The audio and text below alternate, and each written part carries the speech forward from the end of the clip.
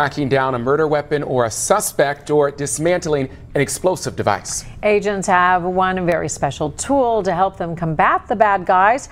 As Local 12's Cassie Arsenault shows us, this particular sidekick goes beyond an agent's human capabilities to track down the evidence. From shell casings to hidden guns and thousands of combinations of explosive substances, their highly trained four-legged partner is usually the link to closing the case. The focus. Back. Back. The time. The enthusiasm. There's no one more dedicated to the work. Four year old Hilton is training 24 7. In fact, it's the only way she gets to eat. Good girl. Good some. Yum, yum, yum, yum, yum, yum, yum. Um, I usually do probably two to three training sessions with her every single day, uh, even on the weekends and holidays. So no days off for Hilton? No days off for her or me. So. This duo, Agent Dave McMullen and Hilton, are inseparable. This year alone, with Dave's guidance, Hilton has found 100 shell casings and 10 guns left behind at crime scenes.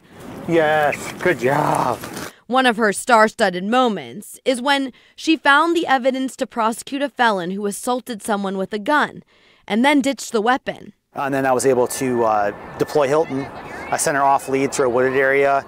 It was in the middle of winter at night, and the person lifted up a mattress underneath an old tire and hid the gun in there, so it was completely hidden. We would have never found it, and she found it, I would say, within five minutes. It has to be harder to prosecute people if you don't have the weapon to go with yeah, it. In that case, particularly, there wouldn't have been enough evidence, so Hilton really helped solve that case. Hilton is like the professional athlete of dogs. She stays within 5% of her target weight, eating healthy salmon-based dog food, and taking supplements. ATF agents selected her out of 300 dogs then put her through close to 30 weeks of intense training. And every year she has to be recertified. Her secret weapon? It's smell. And I have a ton of confidence when I take her out that there's something there, she's going to find it. After a bullet is fired, there's barely any gunpowder inside the casing, a trace amount. And Hilton can track it down in seconds. Ready? And seek. Seek. You see they're right there. And Hilton has odors imprinted in her brain. The way you or I read an email is how she processes smells. She can detect up to 19,000 combinations of explosive odors. While Hilton's biggest reward is a fresh bone and a stranger letting her lick their face, she's most happy doing what she loves helping ATF agents get violent criminals off the streets. So at ATF, we solely do one thing. They have one job, and that's to find explosives. And we try and be the best we can at that one job. Good girl.